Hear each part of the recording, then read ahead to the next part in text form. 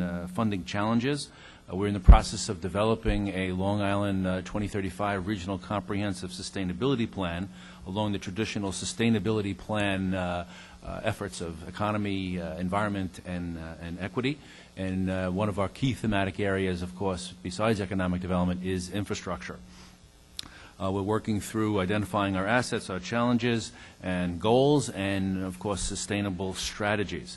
Over the last year, we have been specifically involved in developing a Long Island strategy with respect to the federal stimulus dollars that uh, came to us, um, working with our federal delegation, uh, state uh, agencies, and the- and the governor's office, and actually uh, working on, uh, hopefully, advancing what we uh, will look toward as a major transportation funding bill, the SAFETEA-LU reauthorization. We've also established through those uh, committee meetings a tracking system with the help of the DOT and the governor's office with respect to exactly what federal stimulus dollars have done for Long Island, and uh, we've made a request to really do an update of that, uh, perhaps by the end of the year, so we can see where we are and uh, what's going to be happening for uh, next year. We've also been very active uh, with respect to the advocation of, uh, or advoc- advocating a uh, very robust MTA capital program. Uh, it- There's no doubt that uh, we uh, need more transit improvements on Long Island. We've maintained a strong support for Third Track. We've been engaged in dialogue with respect to a very important tr- transit improvement for double tracking on Long Island from Ronkonkoma to Farmingdale with the opportunity for a new Republic uh, train uh, station. And of course, there's a DOT involvement in, in many of those facets, such as with double track, uh, uh, the rail crossings will be a major DOT issue and issue in the, in the local communities.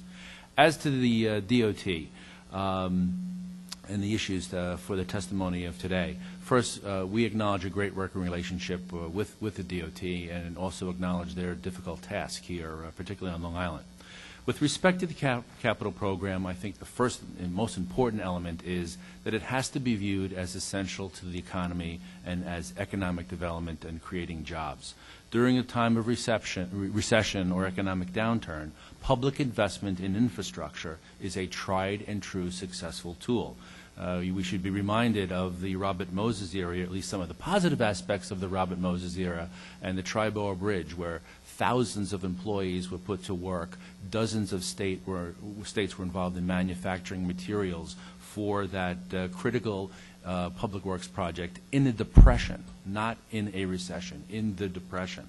And so really, that's really what our labor force is looking for, to be put to work on projects, perhaps not as uh, extravagant as a Triborough Bridge, but many of them that appear on the uh, Regional Transportation Plan.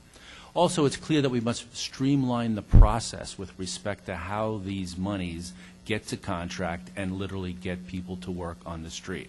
We've heard that time and time again with respect to the economic stimulus dollars. It simply takes too long. The process is, is perverted and just bureaucratically challenged to actually get this money going, get these projects going. Also, our capital program has to be a lot more than state of good repair. Although the record shows that the amount of money in the program seems to be ever increasing for state of good repair, it simply cannot be just that. We need to create innovative solutions, improve capacity, expansion, reduce, reduce congestion, and really revitalize our aging infrastructure. So I'm not talking about the uh, Robert Moses Car is King, more roadways for inspiring sprawl, as we strive every day to reverse and change that paradigm that we are still uh, left with in, in today's uh, transit, in transit situation on Long Island. But what is needed is a direct link, and the capital program is one of ways to do this, between land use planning and transportation, between roadway transportation and transit. Not building roads to create development and sprawl, but improving transportation infrastructure to force foster smarter growth, downtown revitalization, in identified growth areas toward economic development and link with transit. We simply need to also reduce congestion and reduce our carbon footprint. There is an environmental element to the capital program and these infrastructure improvements. If we look at our, ca- our carbon footprint on Long Island, uh, yes, it's, it's buildings as it is in the city because we're heating much too much still with just high sulfur heating fuel, but our transportation footprint looks like Bigfoot, and we need to really change that around. and to create transportation and reliability and, and, and reduce congestion, congestion, we need real result-oriented projects, not, quite frankly, a simply extension of the informed system that tells you how long you're going to be sitting in traffic. We need to do something about changing the amount of time you're sitting in traffic. And so the investment must be made to indeed do that. And again, uh, getting trucks off the road. We've talked a lot about, and we've heard a lot about, rail freight. And there, this is absolutely a key element to the transportation situ- situation on Long Island. We need to create rail freight. Two important problems. One is getting the rail, rails on and off Long Island. You know, we deal with a system that comes through Selkirk, New York, over the Hudson, or a barging system that, quite frankly, looks like it did a century and a half ago. Um, we are advocating a link uh, with that aspect of identifying uh, solutions to the rail freight problem uh, with putting Long Island in direct connection with the Cross Harbor Freight Project. The fact is, is that we need to be looking more even at intermodal opportunities or multimodal opportunities on Long Island, and one of the ways to do that might indeed be through a link through the analysis that's being done through Port Authority of New York and New Jersey with respect to that uh, uh, cross harbor uh, link. Of course, this will not uh, negate the uh, work that DOT and our local agencies and governments need to do on that. I mean, frankly, we've been waiting for, I think it's almost two years now, for this report on the multimodal at, at, at Pilgrim State. I mean, we, we need to get that out, and we need to understand what other opportunities. If it's not that location, or if it's not that location of that size, we need to understand more of the other sites. Again, still think that the uh, opportunity might be a link to the Cross Harbor Freight Project. As to funding, I think it, we have to take the approach that everything has to be on the table. As we've said to, the- with respect to the MTA capital program, is it congestion pricing? Is it East River Bridge tolls? Is it fuel tax? Is it vehicle miles travel tax? It may be a combination of those things. It's also everyone's responsibility to try to figure that out. Uh, This committee, the governor's office, and, and all of us out in, in the government and, and government, planning. And it's not just looking to Washington, but we cannot neglect the fact that we need to keep the pressure on Washington. Uh, Almost a year ago, we started those discussions with respect to a reauthorization of the SAFETEA-LU, the Federal Transportation uh, uh, uh, Bill. Of course, that's been uh, extended a couple of times now. Uh, We're hoping that some more attention gets focused on that. We know they're very busy in Washington with health care and Afghanistan, but the, it's the economy, and infrastructure and transportation funding is a key part of the economy give you two examples of what could make a difference to Long Island in terms of the capital program connected to what's been mentioned before and identified in our uh, Metropolitan Planning Organization and NYMTC uh, growth center areas, Sagtikos Corridor and the, and, the, and the Nassau Hub. Clearly for Sagtikos and Meadowbrook, we have to get beyond the fact that they're no longer, as they originally intended, uh, driving through parks to get to parks. They are sophisticated and need to be more sophisticated and more capacity built as real arteries for transportation. And again, not only for their transportation, but, but links uh, to, uh, uh, to transit. Another outside-the-box idea, although seemingly not so outside the box, and this goes to something Senator Fuschillo said- about public-private partnerships. Uh, We've had presentations and continued dialogue with uh, Polimeni International about a cross-harbor tunnel. Uh, There's no doubt that our bridges and tunnels that get on and off Long Island are overwhelmed. Every public agency will tell you, we just can't handle any more trucks, perhaps any more cars. Is that tunnel part of the answer? We would suggest that be a close working relationship with all the agencies involved, DOT, NYMTC, and, and so forth, to really provide a close look at whether that presents an opportunity. Finally, with respect to our Metropolitan Planning Organization, the New York Metropolitan Transportation Council, we need to let them loose to be a true planning agency. We need to know that they're doing more than just part of DOT's operations with respect to the funding me- mechanism for federal dollars. We've had the opportunity to work this past year with NYMTC. We need to, we need to have them more closely linked to actual planning efforts. And thank you for this opportunity. We remain available to work very closely with this committee on uh, regional transportation issues. Thank you. Well, Thank you, Michael. Any questions? Thanks, Mike. Council, we appreciate your comments, and we know that the Planning Council will continue to play a vital role in, in uh, developing plans and alike for both transit and transportation. We appreciate your comments and testimony today. Thank you. Thank you very much. Our next speaker is Roger Clayman, Executive Director of the Long Island Federation of Labor. Then on deck will be uh, David Wolkoff, and then our final speaker will be Bruce Lieberman. Mr. Clayman? Thank you. Um, First, I want to welcome you, Mr. Chairman, to Long Island. Um, And I know your colleagues here know us well, and uh, we've, uh, and the issues that uh, we've been bringing to their attention, particularly about transportation, over the last several months with a sense of urgency. But I want to express our thanks for coming to Long Island to hear the kind of a, of a twist that we give and the concerns that we have that are, uh, we think, somewhat unique. And I think it's clear after listening to the, the groups up here that we're all talking to each other, and some of our uh, info is some, somewhat similar, but we all are hitting some similar themes. Uh, The the Long Island Federation of Labor represents 250,000 union members and their families in Nassau and Suffolk counties. We have two overriding concerns about the DOT capital program, uh, its impact on jobs, uh, and the opportunities it will create for economic growth. Our membership in the building and construction trades is experiencing unprecedented unemployment, greater than 30% and even higher in some of the trades. It's caused by the worst national economic failure in our lifetime and by a breakdown in the state's infrastructure program across the board on Long Island. 20,000 to 30,000 construction workers and their families are experiencing prolonged unemployment. They are losing their homes and in some cases putting their families under tremendous stress.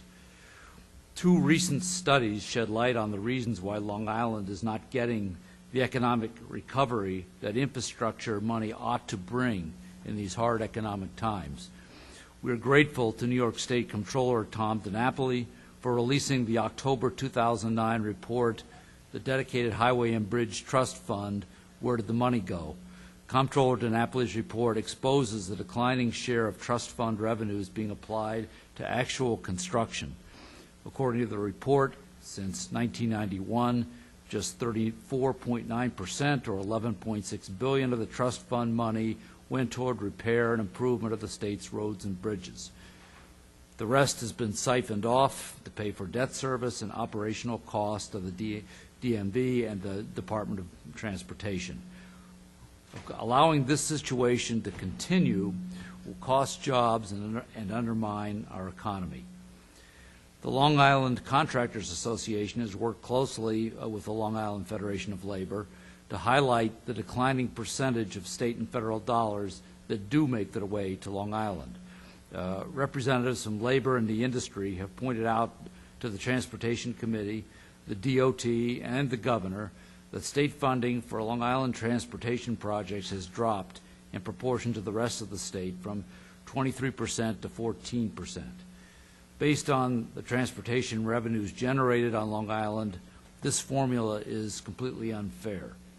In the capital funding program for 2005 to 2009, Long Island has been disadvantaged in all categories of funding, state, federal, uh, stimulus, ARRA, and Bond Act funds.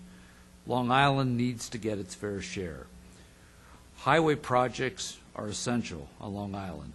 The industry is one of Long Island's largest, and the residual jobs created by construction activity are major factors in the vitality of our communities and other sectors of our economy. Highways are also a major component of private sector development, including some major initiatives here on Long Island. There is a general agreement among community leaders about the region's economic priorities.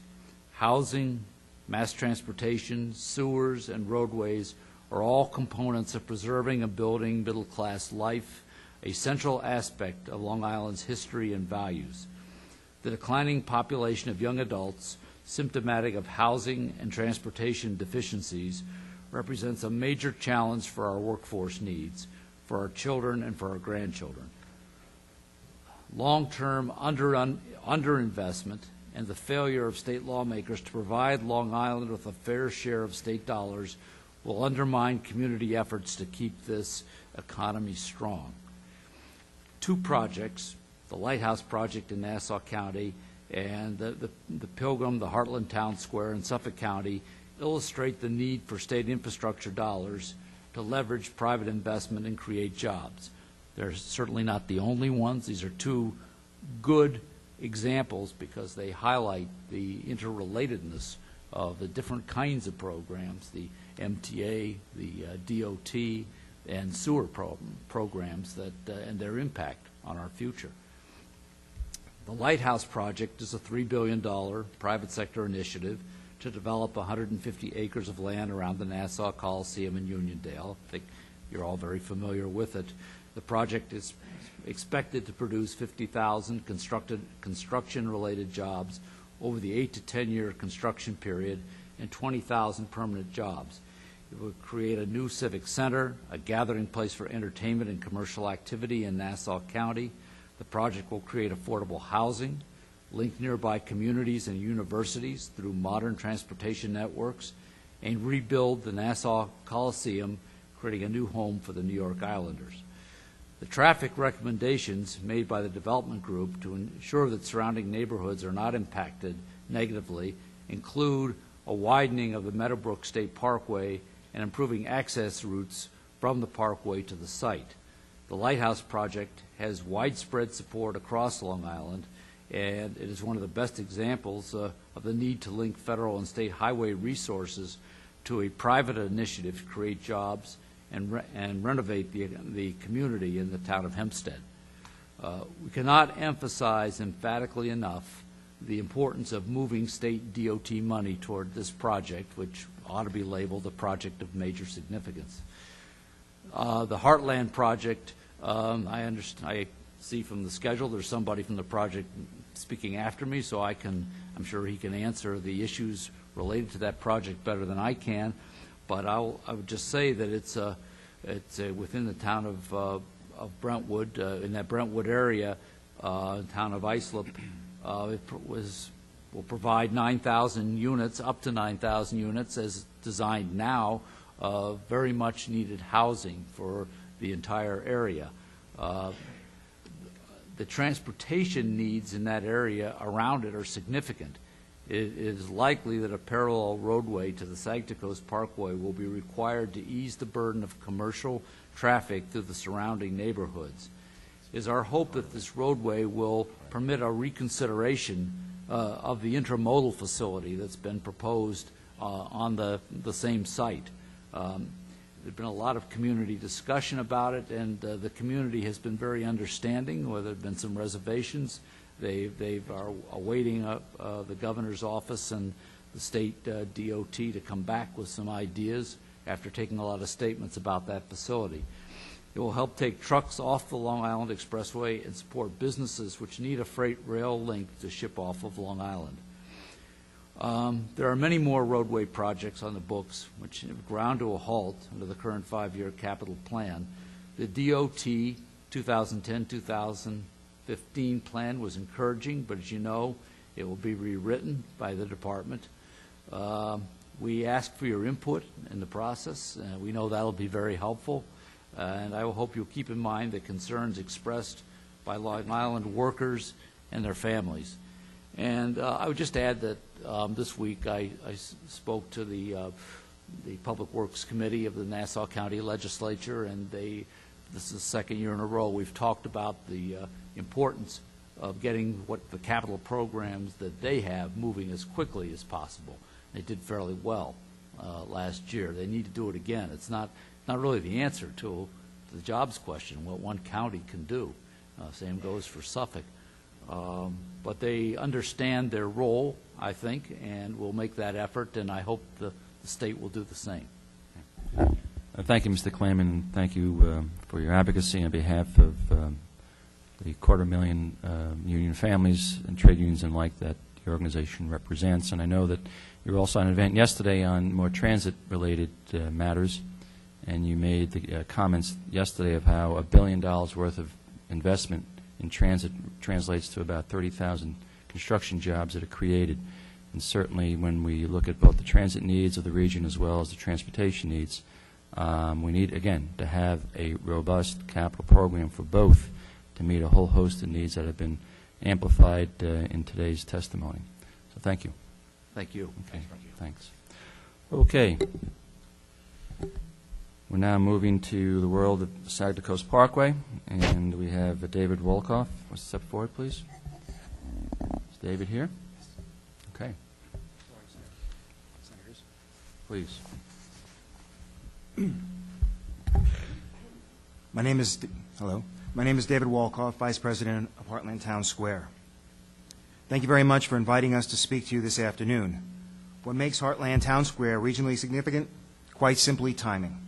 Heartland Town Square could not have come at a more important time for Long Island.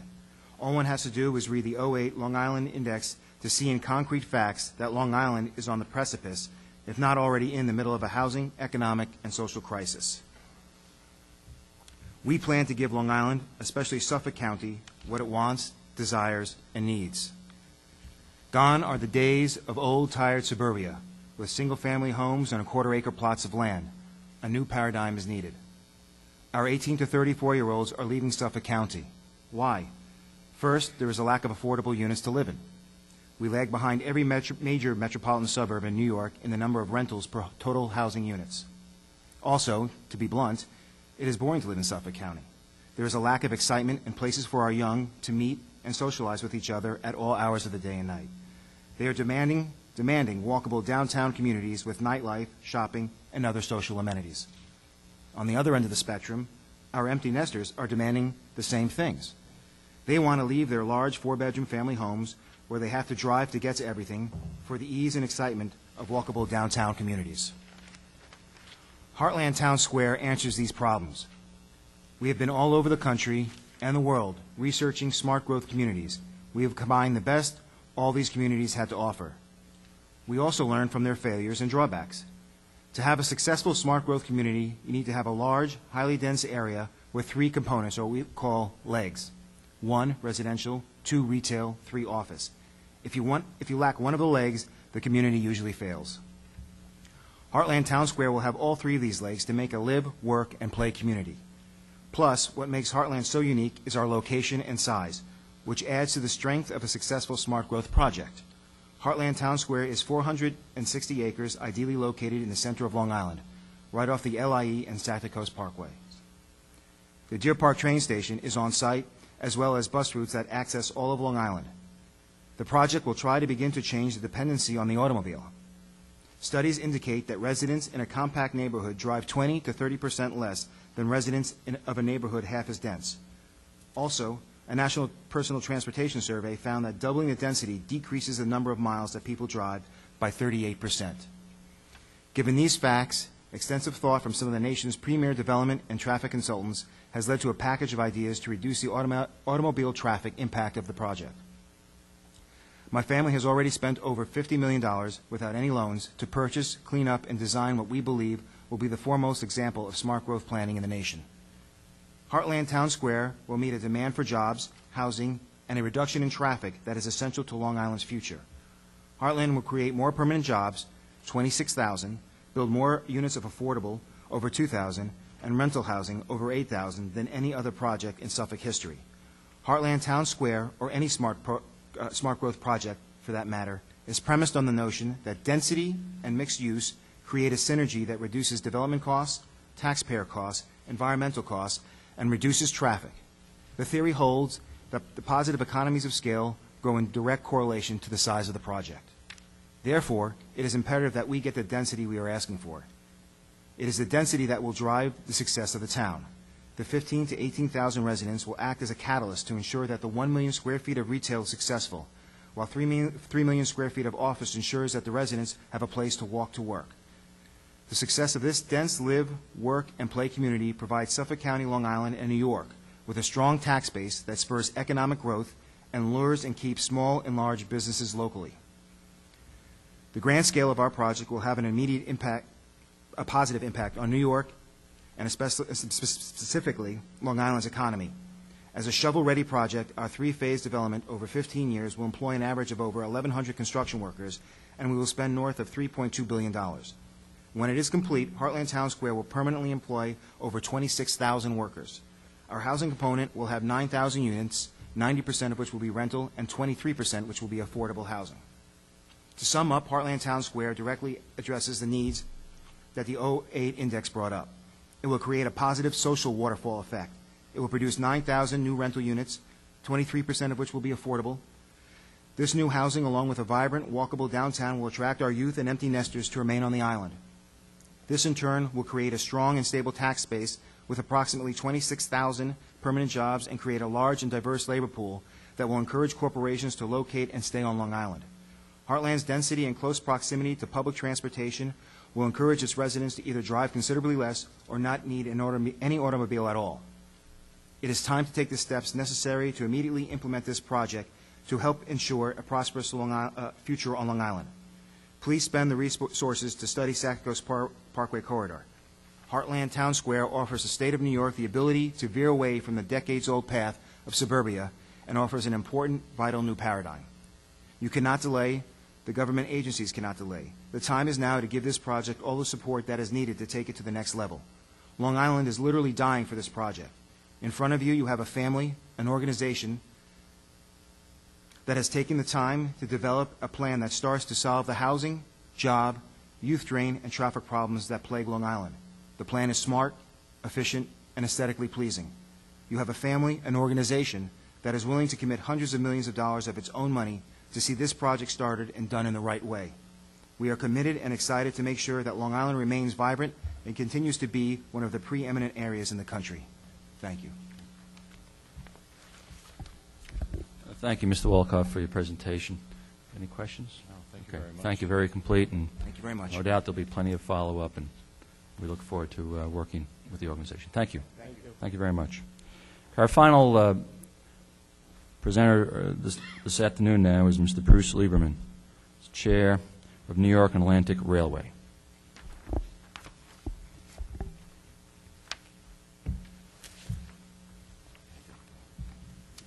Thanks.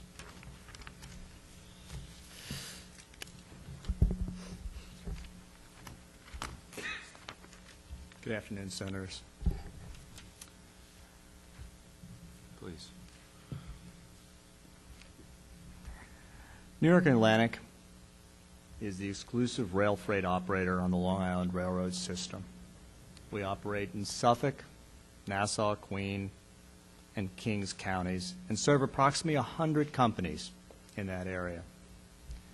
New York and Atlantic only moves the products that are used by or generated by Long Island and New York City. There is no through traffic here. We're an island. New York and Atlantic has a uh, demonstrated a good growth record. Rail traffic has grown from 9,500 carloads in 1997, when we commenced operations, to over 20,000 annual carloads. Even with this record of growth, which is quite substantial by railroad industry percentage growths, rail freight is a very small percentage of freight traffic on Long Island. The low percentage of freight moving by rail is unfortunate, not only for New York and Atlantic, but for, the, but for Long Island. Rail freight provides many benefits to the businesses and people of Long Island. Rail freight is the most energy efficient and environmentally friendly way to move goods onto Long Island. Rail freight also helps to reduce truck-generated highway congestion and road deterioration. In the 12 years of New York Atlantic's operation, the freight traffic that we have moved has, has resulted in 1.7 million fewer big truck trips on the highways and roads of Long Island and New York City. Another benefit of rail freight, and one that is often overlooked downstate, is rail freight's importance to generating and preserving jobs, especially middle-class jobs. Rail freight not only provides good jobs for our employees, but it supports a wide range of distribution and warehousing businesses that would otherwise be at a disadvantage to competitors in neighboring states if they did not have access to rail freight. When we commenced operations in 1997, we determined that the rail freight portion of the Long Island Railroad system needed significant investment to bring it to a state of good repair. Investments over the years, which have been funded by the Port Authority, the State of New York, and New York and Atlantic, have resulted in a marked improvement to the condition of the freight-only rail lines and yards. Most of these past investments were focused on the western portion of the Long Island Railroad system, which would be New York City. There is still more, more work to be, to, to do to bring all the sections of the rail freight system on Long Island to a state of good repair. There are, however, two issues which, in my opinion, affect the long-term viability of rail freight on Long Island. We need to gain capacity for rail freight and the ability to move heavier and larger rail cars. Gaining capacity for rail freight requires additional yard space dedicated to freight and more or improved freight sidings. These improvements require investment. Some of these type of investments have been done with private funds, but the construction of new yards or the installation of mainline switches will require government funding. The ability to move heavier cars, cars that are 286,000 pounds versus 263,000 pounds, is a competitive issue, and a very important competitive issue. It is often cheaper to move a heavier car from, say, the Pacific Northwest to Pennsylvania, and then truck its goods from Long Island, uh, onto Long Island, than it is to move a lighter car all the way onto Long Island. It's a 9% difference over 3,000 miles. The parties that lose in this scenario are the Long Island Railroad distributor and the people who sit behind the trucks driving onto Long Island to deliver the freight. This issue is becoming more acute as old rail cars are being replaced by rail cars capable of moving more goods. In addition to moving more weight, rail cars have been getting larger, taller mostly, uh, in the past few, the last few decades. The clearances on the Long Island Railroad restrict the use of many types of small cars in certain places. While these issues have immediate and long-term impact on the use of rail freight on Long Island, there are several projects underway which are beginning to address these constraints. And I thought you would be interested in hearing some positive news of things that things that are actually happening now. First uh, is the Enterprise Park at Calverton. Recently announced rail rehabilitation project at EPCAL will provide the largest increase in decades of rail-served space on Long Island. The project, which New York Atlantic has supported for many years, is being sponsored by the town of Riverhead and funded by both state and federal programs. The Enterprise Park is an excellent location for a rail-served business park. Suffolk County, as you know, is a growing area for companies, particularly those that, you, that distribute heavy or bulky products. EPCAL also has sufficient size to attract businesses that need a large footprint. It has existing buildings on the site that are the right type to house modern warehouses and distribution facilities. There are already businesses located at the site that want rail freight, and several others that have said they would move in when the rail access is complete. New York and Atlantic appreciates the support this project has gotten from the town and from numerous elected officials. Heavier cars. As I said earlier, the a critical step for moving to, to 286 pound cars uh, has been the testing and the rehabilitation of certain Long Island Railroad rail bridges. On the freight-only lines, which are located in New York City, an engineering study determined that if only two bridges were rehabilitated, the rail lines could receive heavy cars. This project is scheduled to be completed in 2010, which will allow heavier cars, rail cars, to move uh, into Queens and Brooklyn. This is an excellent step, but it only affects a small portion of the Long Island Railroad rail system. The next step is, a is to finalize a complete study of the rail bridges on the other portions of the system and make the selective improvements to Long Island Railroad bridges that would allow the transport of modern rail cars into Nassau and Suffolk County. In conclusion, rail freight, the rail freight picture on Long Island is much better than when we took over 12 years ago. But there remain significant challenges to continuing to grow the use of rail freight. The opportunity to grow rail freight on Long Island and the benefits associated with the use of rail freight will require consistent investment in the rail freight portions of the Long Island Railroad system. I hope that you consider these needs in the future transportation budgets. Thank you for the opportunity to talk today. Thank you, Mr. Lieberman, for, for your um, presentation. Again, showing that the nexus between rail and transportation, very, very important connection. Thank you. Thank you. Mr. Chairman. Before we have the chair uh, conclude the remarks, is there anyone else who wishes to uh, speak? Okay, Mr. Chairman? Okay, um, first of all, I would like to thank everyone in the region who testified uh, this morning and afternoon. Um, I can sense that Long Island is really on the same page, and uh, there were certain issues that I think I heard here, and everybody's on the same page with regard to the fair share uh, for the region, and I think that's definitely something that we in the committee will be um, looking at. Um, This is um, the final hearing of uh, the five-year capital plan, but I can tell you that it's not the end of the process. Um, Originally, the final hearing was supposed to be held in Albany, where um, we were going to back, back to the commissioner with many of the concerns that were brought up throughout uh, the different locations and regions where we heard testimony, and I can indeed ensure everyone out in Long Island that we will go back to the commissioner and uh, make sure that your concerns are shared with Commissioner Gee. Um, we do have with us a representative from his office, uh, Diane Lombardi, who's here from um, New York State DOT, and she has been to several of the hearings.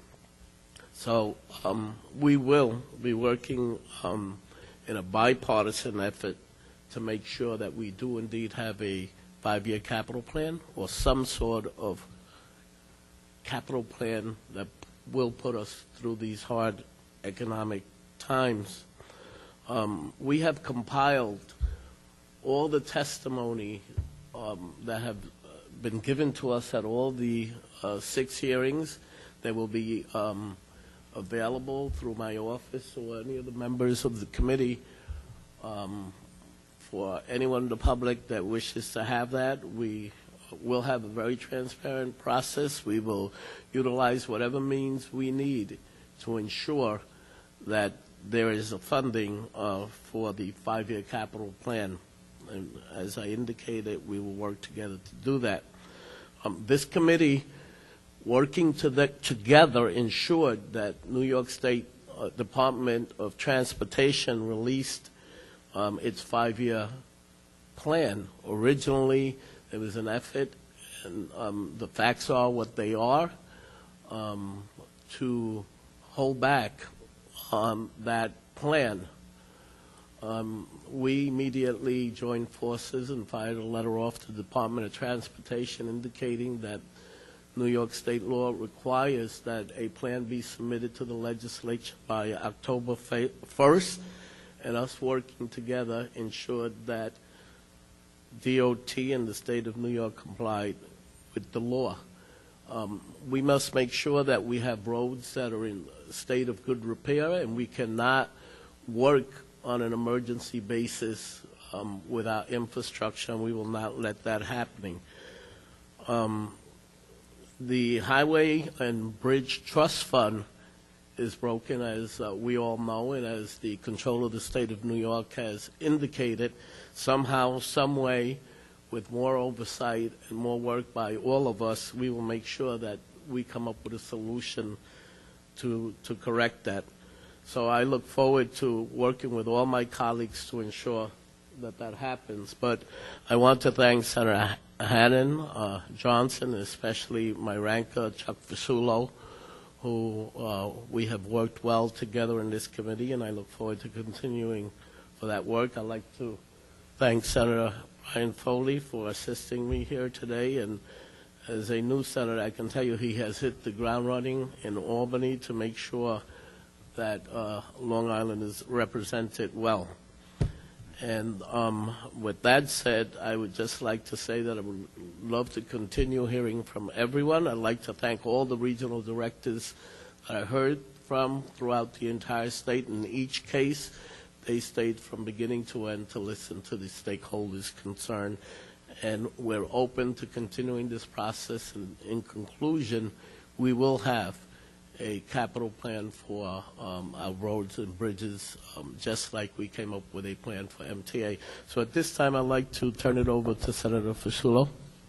Like Yeah, ju- Just briefly, let me- let me just thank you, Mr. Chairman. Um, I really appreciate the time and the effort that you made in these hearings, but coming to Long Island and- and hearing directly from those that testified to the significant needs that we do have here and how critically important it is that we maintain our share. And, um, you know, I I felt all along with my colleagues from Long Island that we've been shortchanged, and uh, with the growing population here, we need to do as much as we can to maintain and continually improve our infrastructure. So as we move forward, I, I just uh, want to thank you for your greater understanding of our needs and uh, for holding the hearing here in Farmingdale. Thank you. Thank you. And in conclusion, uh, from let's say, the Suffolk County side of the uh, delegation, I also want to once again express our um, gratitude to the chair for holding this unprecedented hearing on Long Island. We heard some very powerful testimony today uh, from a variety of speakers um, about the need for a robust capital program and for the, and for the many multiple benefits of putting forward a program that will create jobs, that will improve our infrastructure, and most im- importantly, improve the, the safety of our roadways. So we look forward again to working with you, Mr. Chairman, and again, thank you for your leadership on this issue and how Long Island plays a very, very important role in the overall state of, of the state economy and in the overall state, if you will, of transportation needs uh, throughout the state. We see that Long Island is really in the forefront of a capital program that will certainly help the Bi-County area, and really the whole metropolitan area as well. It'll help. Thank you uh, very much, and once again, I just love, uh, want to thank everyone involved, and especially all the staff and our central staff for all their support and help. So I look forward to seeing you in the near future after we have a capital plan. Thank you very much, and have a good afternoon. This meeting is adjourned.